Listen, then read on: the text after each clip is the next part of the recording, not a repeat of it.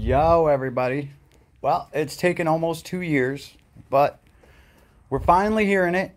We are finally hearing it. And I'm going to play just like kind of the beginning of this, just so we can all hear it together. I think this guy says it pretty well. He might not be a stranger to many of you. You might recognize him. And the question of January 6th and the attack is on the ballot as well. With her primary election less than two weeks away, Republican Congresswoman Liz Cheney of Wyoming is out with a new political ad featuring her father, former Vice President Dick Cheney. Take a look. By the way, you you guys will notice too that like uh, on my playlist, I just I talk about everything that I think is stupid, no matter what party or side it's coming from. So if you come out with dumbass legislation or something that I don't agree with, I'm going to say something about it, even if you're on this party or that party or that party or independent. I don't give a shit about any of that. I care about these people and what they actually say. Uh, and because I've had some people be like, "Oh, you're you're anti-Republican." I'm like, "Yeah, and I'm anti-Democrat, and I'm anti-Green Party. I'm anti anybody that says anything stupid about Jewish people using space lasers to start forest fires." And crazy dumbass conspiracies that hurt all of us as a country.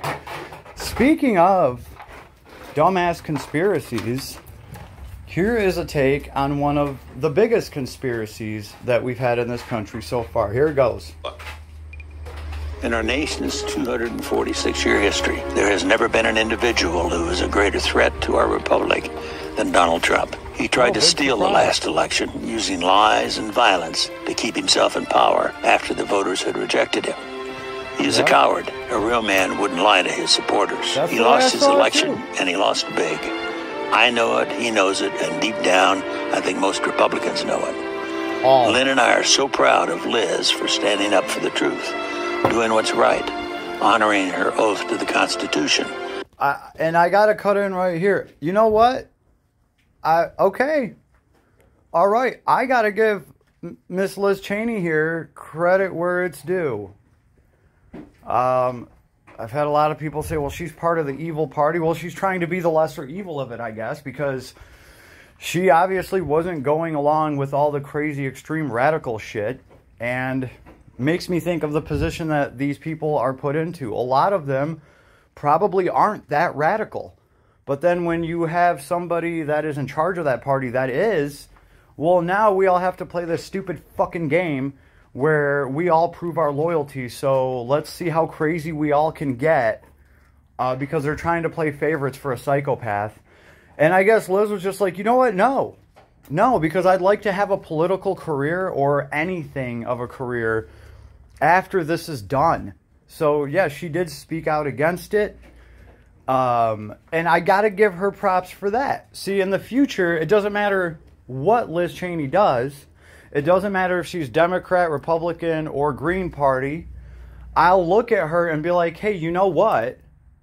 I don't know about this lady's policy. I don't know what she's going on about right now or what she's, you know, going for. But I do know that when her own party rose up with some crazy bullshit conspiracy theory garbage, that instead of getting behind it like every other ass clown that was in the in in that meeting room with her, she said, "No, I'm not going to do that.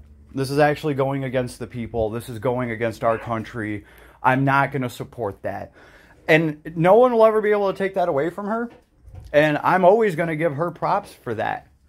So she'll like, yeah, doesn't matter what party you're from, doesn't matter where you're from. What what I care about is what you're actually talking about. Now, I'm sure Liz Cheney also has a bunch of terrible ideas on terrible policy. The thing is, I haven't got to hear about any policy ideas or anything.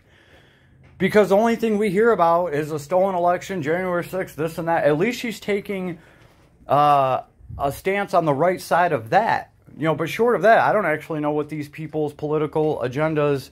Uh, we don't know what their political agendas are, but like their actual political platforms are. They stopped making platforms. Now, presidents used to run and say, hey, if I get elected, I'm going to do this, I'm going to do that. Uh, when Trump ran the second time, he didn't even have a damn platform. He was like, I'm going to run and it's me, and I'm not going to tell you what I'm going to do, and you're still going to vote for me. So I want to hear actually more politics and what these people plan to do about policies and things like that, uh, as opposed to just whether they they back the big lie or not. I think we need to get back to actual politics to make this country better, not fighting over a goddamn lie. So I'll give her credit here. At the same time, I also know that, well, you know what? No. Actually, Liz Cheney, I think she supports my right to have a gun. I think. Because she's on that side, but you never know. Like, see, and that's what I'm saying. Like, there's plenty of uh, Democrats that I've seen that, yeah, I'll agree with, you know, maybe this or that or this position or that position. But then that asshole turns around and says, but I want to take all your guns away so you can't protect yourself. And I say, oh, well, okay, now you suck too. So, I don't know, that's just where I'm coming from. This is why I don't back a party. This is why I don't choose. Um, this is why I just sit back and I hate on all of them equally. Um, now, that being said, you're going to see people pop up here from all different parties. And it's going to be based on the stupid shit that they say and they do. Look forward to some Marjorie Trader Greene here uh, and some people like that. And hey, if there's radicalists on the other side that are spewing crazy ass dumb shit, I'm to cover that too. And if there's radicals in the Green Party spewing crazy green shit, yeah, we're going to be talking about that too because this is just getting, uh, this is getting stupid. Here we go. When so many in our party are too scared to do so. Damn right. Liz is fearless. She never backs down from a fight. There is nothing more important she will ever do than lead the effort to make sure Donald Trump is never again near the Oval Office. Fuck yeah. And she will succeed. Good. I am Dick Cheney. I proudly voted for my daughter. I hope you will too. I'm Liz Cheney. I'm Liz Cheney, and my dad's a dick. Oh, gotta love that. That's that's that is how this should end. She should just be like, I'm Liz Cheney, and my dad's a dick. He's the dick, and he knows the goddamn truth. That's what she should be saying. And I approve this message. Wow. Make a pretty extraordinary ad there. Uh, Liz Cheney has a big uphill climb ahead of her. Doesn't care. She's standing there. Doesn't. Uh, real talk though, that speech her daddy just done gave, well, goddamn, that was damn near worth a presidential speech. The kids got the stuff. I mean, the, the music they were playing, I mean, that shit was real. I felt it. Again, uh, her father probably has done a bunch of crazy, evil pol- political shit himself that, you know, I wouldn't agree with. But right here, yeah, I'm going to agree with him on everything he just said. It is all true. It is all true. Uh, it's cool that some people are trying to stand on the right side of this. Uh, you know what? While we're talking about those people, uh, the same thing I just said about Liz Cheney, I will say the same damn thing about Pence. And that's crazy because, uh, you know, at least Pence was like, no, this has gone too far. I cannot overrule anything. He flat out just was like, no, I'm not doing that because, you know, it's just, it's prison time. It's wrong. Uh, the reason that he gave was because that choice should be up to the people and it's not, whatever, whatever. Uh, the, the, the thing is, I'll give him props for that, for standing his ground, I guess. But the fact is, uh, that guy is a Bible thumping lunatic. So that's about all the props I can give him because I also know that that guy wants to unite state and church. He he wants to bring religion into the government. Pence is freaking open about it. And he's not talking about all religion. He's just talking about his religion and his, you know, crazy ass religious almost zealot-ish beliefs that do not belong in our government. Yeah, he's real tight-lipped about it and you know, he's real formal and real professional, but that guy definitely does have his own freaking agenda and I'm actually scared that this has somehow empowered Pence for the future. Because when all this falls apart for the shitty Orange Party, he'll be able to say, hey, I was right the whole time. Everybody gathered behind me. I'll be the next president. And the problem is, Pence could probably do so much more damage than Donald Trump ever could because he's not as stupid as Trump. And the proof's right here. He's not as stupid as Trump because he didn't go along with Trump's scheme because he knew that it was going to be all bad news for all of them.